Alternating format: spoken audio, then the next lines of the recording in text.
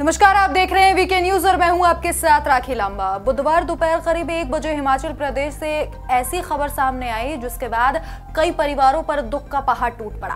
किन्नौर से जिस दर्दनाक हादसे की तस्वीरें सामने आई हैं, उन्हें देखकर दिल से हर उठता है। दिल, दिमाग सब कुछ ठहर जाता है।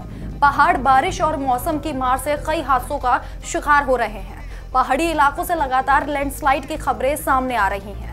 लेकिन किन्नौर में जो हादसा हुआ उसने कई परिवारों को तोड़ कर रख दिया। सबसे पहले आपको वही दर्दनाक तस्वीरें दिखाते हैं कैसे किन्नौर के नीगोसारी और चोरा के बीच अचानक पहाड़ का एक बड़ा हिस्सा टूट गया जिसकी चपेट में हिमाचल रोडवेज़ की एक बस समेत दो गाड़ियाँ आ गई।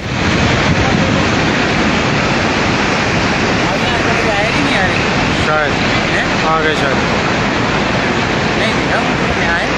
पता नहीं। वो देखो बस बस। हाँ। हैं? वो देखो नीचे क्या हुआ थे दोनों रोड बंद किए इसने।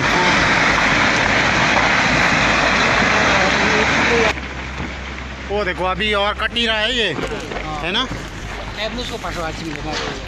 जी हाँ हर तरफ़ चीखों पुकार मच गई। मलबे में 30 से 40 लोग दब गए।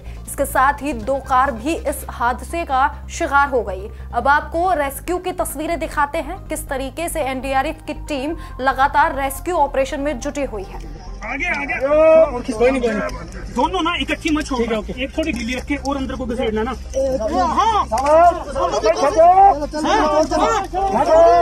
पत्थर बाहर को जाएगा भी है बाहर का ऐसा करना हाँ थोड़ा इस साइड को दो एक चप्पल से ऊपर को उठाओ ना और एक चप्पल से डायरेक्शन दो। डायरेक्शन दो साइड हाँ हिला है काफ़ी हिला है। चलो कोशिश करो। हाँ सर हिला है। हिला डबल आपको। रुक देखा आपने किस तरह लोग ज़िंदगी और मौत के बीच जंग लड़ रहे हैं। हालाँकि किन्नौर के हादसे पर मुख्यमंत्री जयराम ठाकुर पैनी नज़र बनाए हुए हैं। उन्होंने अधिकारियों से राहत बचाव कार्य तेज करने के निर्देश भी दिए हैं। मुख्यमंत्री जयराम ठाकुर ने कहा कि मैंने पुलिस और स्थानीय प्रशासन को बचाव अभियान को चलाने का निर्देश दिया है। एनडीआरएफ को भी अलर्ट पर रखा है।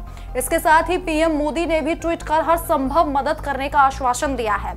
इसके साथ ही किन्नौर में हुए हादसे को लेकर गृह मंत्री अमित शाह ने हिमाचल के मुख्यमंत्री से फ़ोन पर बातचीत की है। गृह मंत्री ने मुख्यमंत्री से घटना की जानकारी ली। इसके साथ ही उन्होंने डीजी और आईटीबीपी से भी बातचीत की है।